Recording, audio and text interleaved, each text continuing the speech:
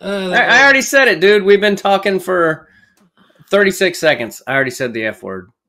oh it's, man, it, it's like a disease. it's tough, man. I, Uh, uh, but- Sorry, go ahead.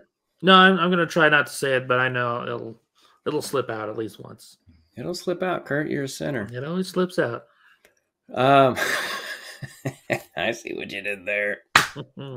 Dirty. Pat McKee is maybe thinking in his head, I'm going to be the first guy to not get majored. My, I'm, I might be the only guy this whole year that doesn't get majored. You know, like, does that even, do you even think about that when you're that good? Um, I don't know. But it seemed to me like he was wrestling that way. Like, I'm not going to win. That would be a weird mindset, as you know, he's like one of the top top five guys in the country at that weight class. Yeah. Like, I don't, I don't know. Like, I never wrestled, but like, would you do that? Like, if you're going up against the number one guy, like, uh, what what's your mindset going in? Like, you're trying to beat the dude, or you're just like just don't get pinned or teched?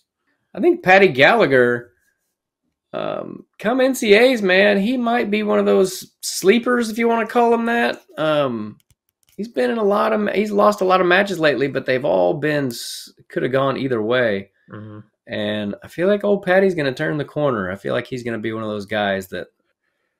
that Yeah, and you know the NCAA tournament's right around uh, St. Patrick's Day, so big weekend for him. yeah, the luck of the Irish and all that shit. Um, sorry, Penn State fans. I, I think your boy tried to hurt DJ Washington. It looked to me he had him in like a chicken wing and he was raising up on it. And there's no reason to raise up on a guy with a chicken wing unless you're trying to hurt him. I saw him do it once towards the out of bound lines, um, tor- towards the Penn State fan or Penn State wrestlers and he just raised up on it pretty hard. And then I saw him do it at the very end. He was doing it again, and that's when DJ got up all pissed off. I know Cael never won Worlds, hmm but I also heard, and I would love to know why, but Cael didn't like going overseas, and I have no idea why. Uh, he probably has IBS or something. and Carter Young looked good in that match too. He had to wrestle a backup, but and that guy looked kind of dirty. I can't remember his name, but he was doing some dirty shit. John Smith at one point because Carter didn't get out in the third period. He was down. He was got ridden out, and John Smith goes, "You better get out. You're gonna get hurt." Because that guy was that guy was doing all kinds of dirty shit. really? Yeah.